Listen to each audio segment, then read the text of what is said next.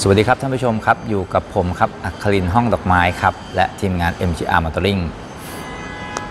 วันนี้ผมมาสัมผัสกับเจ้านี่ครับ Mazda CX-30 SUV น้องใหม่ล่าสุดที่เพิ่งเปิดตัวในประเทศไทยไปเมื่อวันที่ 6 มีนาคมนะครับ อาจจะยังไม่มีงานเปิดตัวอย่างเป็นทางการเนื่องมาจากว่ามีการยกเลิกการเปิดตัวนะครับ เพราะฉะนั้นเราก็เลยมา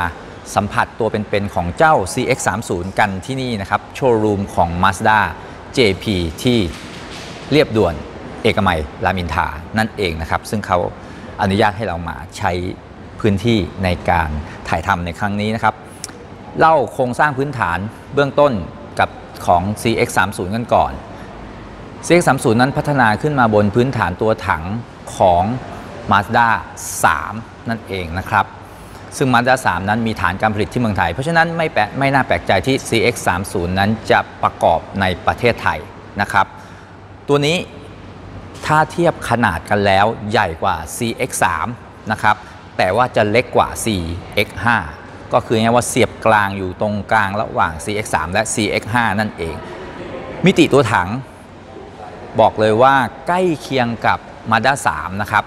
ใกล้เคียงมาก ๆ คือมองอีกมุมหนึ่ง เอาแบบเข้าใจง่ายๆ ก็คือ Mazda 3 ยกสูงนะครับ เครื่องยนต์ของเขาเครื่องยนต์เป็นเครื่องยนต์เบนซิน Sky Active G นะครับ 2.0 ลิตร 4 สูบ 16 วาล์วนะครับ เป็นพร้อมระบบวาล์วแปรผันแบบ 2 ด้านนะครับ Dual เครื่องยนต์ตัวนี้ให้กำลังสูงสุดอยู่ที่ 165 แรงม้า แรงบิดสูงสุด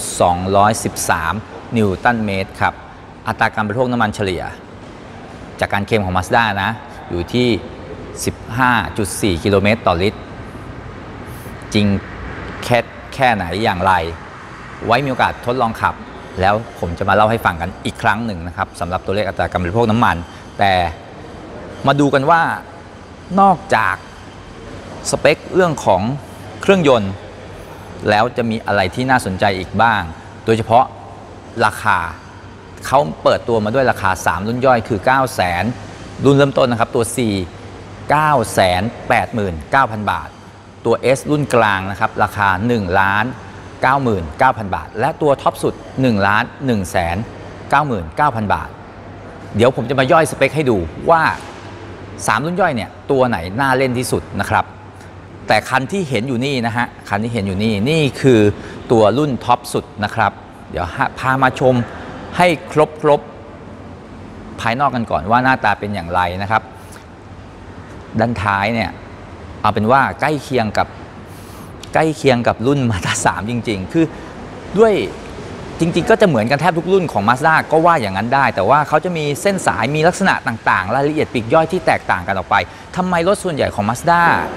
จึงออกมาในสไตล์เดียวกันหมด เหตุผลง่าย ๆ ครับ ด้วยหลักการออกแบบโคโดดีไซน์พอเขายึดแนวนี้เป็นหลักนะครับ เพราะฉะนั้นการออกแบบของ ทุกรุ่นของ Mazda จึงอิงโคโดดีไซน์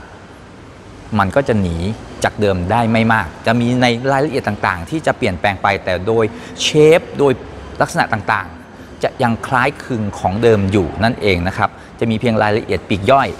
ที่ปรับเปลี่ยนถามว่าสวยขึ้นไหม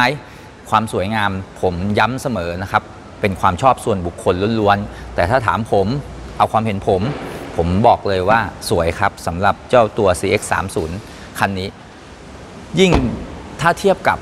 Mazda 3 นะ ที่เป็นตัวแฮชแบ็กตัว 5 ประตู ผมชอบ CX3 มากกว่า ผมรู้สึกว่ามันลงตัวมากกว่านะครับ โดยเฉพาะในส่วนของด้านท้ายที่มันยกขึ้นมา พอมันยกขึ้นมาปุ๊บ มันยกสูงอะนะ พอยกสูงขึ้นมา เฮ้ย มันดูลงตัว ขณะที่ตัวที่เป็น Mazda 3ผมรู้สึกว่ามันสั้นและป้อมไปหน่อยนะครับ แต่ว่าพอมันเป็น CX30 เนี่ย มันใช่เลยนะครับ มีจุดจุดหนึ่งก็คือตรงนี้ไม่เป็นเกาะพลาสติกนะครับ ไม่ได้เป็นโครงสร้างเหล็กนะครับ ด้านในก็เป็นพลาสติกนะครับ ถามว่าเป็นยังไงคือหนึ่งดีในแง่ของ การเปื้อน การสะเทือนไม่ใช่ไม่ไม่ไม่ไม่ไม่เกี่ยวกับการการสะเทือนนะครับ แต่ในแง่เวลาที่เปื้อนเนี่ยมันจะไม่กระทบไปถึงสีนะครับในแง่ของความสวยงาม อันนี้แล้วแต่คนชอบ ไม่ได้ตีโป่งออกมามาก ถ้าสมมติเกิดเบียดเกิดชนหรือเกิดอะไรขึ้นในแง่ของอุบัติเหตุนะครับ การที่เป็นพลาสติกแบบนี้ซ่อมง่ายกว่านะครับ ดีกว่าที่ไปซ่อมตัวถังนั่นเองนะครับ เวลาเปลี่ยนก็แค่เปลี่ยนชิ้นนี้ แต่ถ้าไปโดนสีคือคุณต้องทำสีโดนตัวถังเลยก็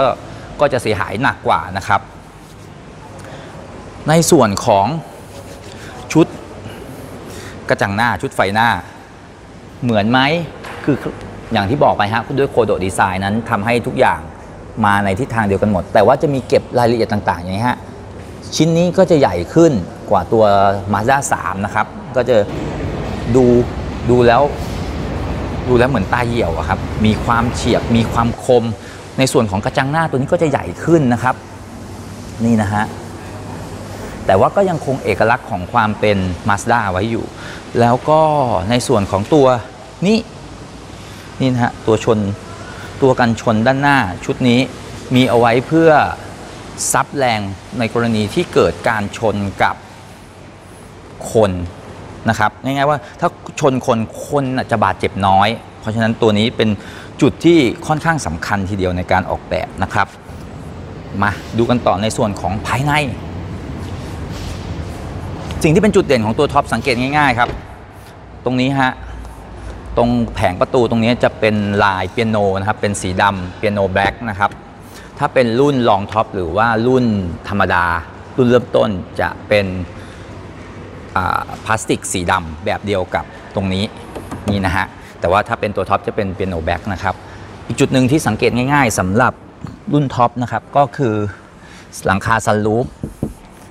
ข้างบนนี้นี่นะฮะหลังคาซันรูฟสำหรับรุ่นท็อปก็จะมีตัวหลังคาสลูปด้วยนะครับอะมีอะไรอีกบ้าง เครื่องเสียง Boseสำหรับตัวท็อปมาเต็มๆนะฮะ นี่นะครับเอาละภายในเนี่ยนะฮะเรียนตรงๆชอบชอบครับ ผมชอบอะไรที่เป็นดีไซน์ในลักษณะที่เรียบๆง่ายๆ ไม่ต้องเยอะนะครับ ซึ่งก็ตรงกับที่แนวคิดของ Mazda คือ minimal นะครับ less is more นี่ฮะตามหลักการดีไซน์ของเขาเลยปรัชญาในการสร้างสรรค์รถของเขาตอนนี้ คือหลาย ๆ ส่วนเนี่ย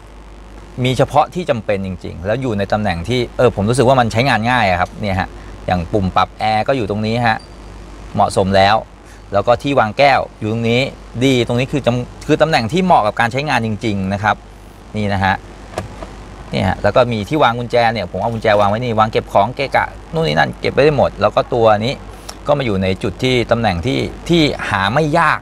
แล้วก็เราไม่ได้ใช้งานบ่อยอยู่แล้วครับสำหรับตัวไฟฮัสซาดตรงนี้นะครับ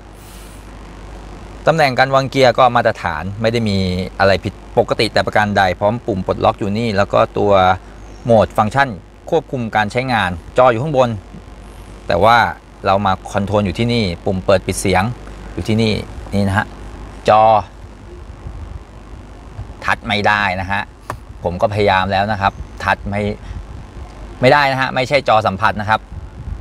สัมผัสสิไม่นะฮะต้องเราต้องมาคอนโทรลที่นี่นะครับ ใช้มือหมุนนะครับ ยังไม่ใช่เป็นจอสัมผัสนะครับ จอสัมผัสก็จะมีอยู่ใน CX 8นั่นเองนะครับ ที่จำได้นะอะพวงมาลัยมาในความเป็น Mazda แท้ๆจริง ๆ ครับ มีครบนะครับ นี่มี Adaptive Cruise Control ด้วยนะครับ ตัว Cruise Control ตัวนี้ แสดงว่าคันนี้เป็นตัวท็อปนะครับ ออปชั่นจัดให้เต็มสุดๆ จริง ๆ นี่นะฮะ ตัวเรือนไม้นะครับ ก็ มีฟังก์ชันต่างๆ ค่อนข้างครบถ้วนนะครับ ข้อมูลต่างๆที่ให้มามีครบหมดนะครับนี่นะฮะเดี๋ยวนะฮะนี่เราปิดให้ดู เราเปิดให้ดูอีกทีนะครับ นี่นะครับนี่ฮะถ้าแตะเบรกก็จะสตาร์ทได้นะครับนี่นะครับนี่ฮะดูนะครับสำหรับการปรับ อินโฟต่างๆ อยู่นี่ฮะต้องมาปรับที่นิ้วตรงนี้นะครับตรงปุ่มคำว่าอินโฟนี้นะครับ ถ้าคุณอยากรู้อะไรก็มาปรับตรงนี้นะครับนี่นะฮะเลื่อนได้แบบนี้นะครับ แล้วก็อย่างถ้าเป็นรุ่นท็อปนี่จะมีตัวนี้ฮะ head up display นะครับเห็นเลขศูนย์ไกลๆตรงนี้ไหมฮะนี่ฮะเลขศูนย์ตรงนี้นะครับ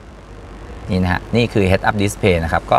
ช่วยอำนวยความสะดวกในการขับขี่ได้นั่นเองนะครับเอาละภายในก็จะประมาณนี้ครับเหมือน Mazda 3นะครับตัวเบาะแต่ว่ามันจะให้ความรู้สึกที่สูงสูงกว่ากันไม่มากครับในความรู้สึกผมนะตำแหน่งการจัดตำแหน่งตรงนี้เป็นสิ่งหนึ่งที่ผมชอบมากๆ เพราะว่าเราจะตรงมากเลยฮะเราจะตรงกับตัวตัวแกนกลางของตัวพวงมาลัยกับตำแหน่งที่เรานั่งเนี่ยจะอยู่ตรง แล้วขาเราก็ตรง เวลาเราเหยียบอย่างเนี้ยสบายมากเลยครับ คือถ้าวิ่งทางยาวๆ ผมว่ามันไม่มันไม่น่าจะเมื่อย แล้วตำแหน่งเนี่ยสูงกว่าตัวมาด้า3 แน่นอนครับมาด้า3จะรู้สึกว่านอนนอนนอนกว่า ในขณะที่ถ้าเป็นตัว CX30 เนี่ยฮะเรารู้สึกว่าเราได้นั่งมากกว่านะครับนี่ฮะตำแหน่งเป็นประมาณนี้ เดี๋ยวไว้ถ้าได้มีโอกาสขับจริง เดี๋ยวจะมาลองบอกให้ทุกท่านทราบว่า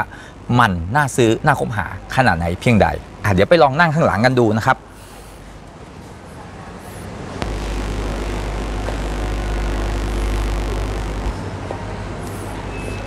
สำหรับ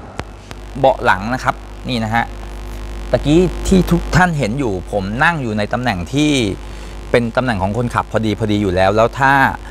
กลับมาอยู่ในตำแหน่งที่เป็นคนนั่งเป็นผู้โดยสารทางด้านหลัง ก็จะมีพื้นที่เหลือประมาณ 1 ฝ่ามือนะครับ เบาะเนี่ยเสมอกับตัวเสาบีตรงนี้นะครับ ก็ถือว่ากว้างส่วนพื้นที่เฮดรูมนี่นะฮะเหลือประมาณ 1 ฝ่ามือเช่นเดียวกันนะครับสำหรับความสูงของ ตัวผมนั้นอยู่ที่ 173เซนติเมตรนะครับ ก็น่าจะสบายๆอยู่ แต่ถามว่าไม่ได้รู้สึกว่าโปร่งโล่งสบายเหมือนตัว CX5 นะครับไม่ไม่ไม่สูงเท่าแน่ๆ เพราะด้วยมิติตัวถังที่เล็กกว่านะครับเบาะก็นั่งสบายดีฮะนี่ฮะดูแล้วโอเค คุณภาพของวัสดุเป็นอีกสิ่งหนึ่งที่ Mazda ทำได้ดีมากๆ ต้องขอชื่นชมจริง ๆ ตรงนี้ ในส่วนของวัสดุเนี่ยฮะต่างๆ ดูแล้ว ผิวสัมผัสให้ความรู้สึกว่าเออลดราคาล้านหนึ่งเนี่ยมันมันต้องได้ประมาณนี้นะ นี่นะครับ ถัดมาสุดท้ายก็คือในส่วนของฝากระโปรงหลัง เป็นฝากระโปรงหลังแบบไฟฟ้าแล้วนะครับ นี่นะฮะพื้นที่ด้านหลังก็ค่อนข้างเยอะ น่าจะก็ใส่ถุงกอล์ฟได้2ใบสบายๆนะครับ ส่วนตัวผมถามว่าเข้าไปนอนได้ไหม ก็แบบนี้ฮะ ก็นั่งได้ แต่ให้นอนก็ก็น่าจะอึดอัดกว่าตัวตัวอื่นหน่อยนะฮะ ก็มันจะพอดีมากเลยนะครับ นี่นะฮะ ก็สุดท้ายมันก็จะมีคำถามว่าเล่นตัวไหนดีสำหรับ Mazda CX-30 ตัว C ตัวเริ่มต้น 989,000 บาท ก็ออปชั่นเป็นเบสเป็นพื้นฐานเลย แล้วถ้าตัวกลางล่ะ มีอะไรเพิ่มขึ้นมาบ้างสำหรับตัว S มี เพิ่มขึ้นมาทั้งหมด 5 รายการนะครับ จุดแรก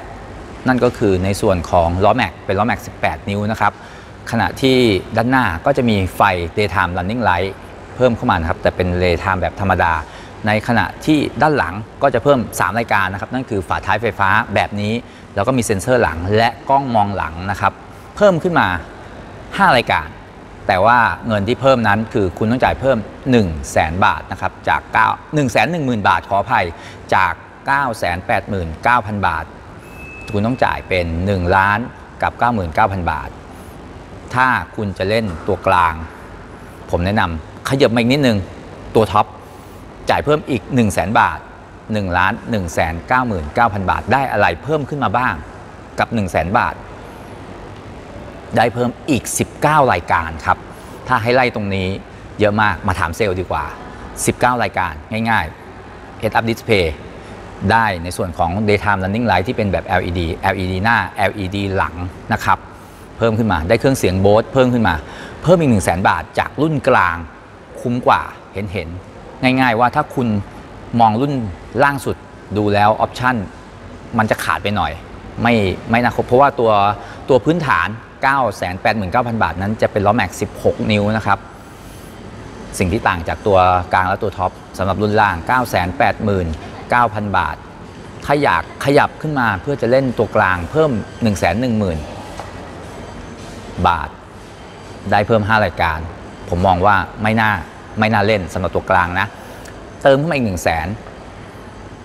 ได้ตัวท็อป option full เต็มสุดๆ คุ้มค่ากว่า ง่ายๆว่าถ้าจะเล่นเล่นตัวล่าง หรือไม่ก็ตัวท็อปไปเลยนะครับ เป็นอันว่าเรียบร้อยสำหรับข้อมูลเบื้องต้นของ Mazda CX-30 ส่วนการขับขี่เป็นอย่างไร เราไปลองแล้วจะมาเล่าให้ฟังในคลิปถัดไปสำหรับวันนี้ลาไปเพียงเท่านี้ สวัสดีและขอบคุณมากครับ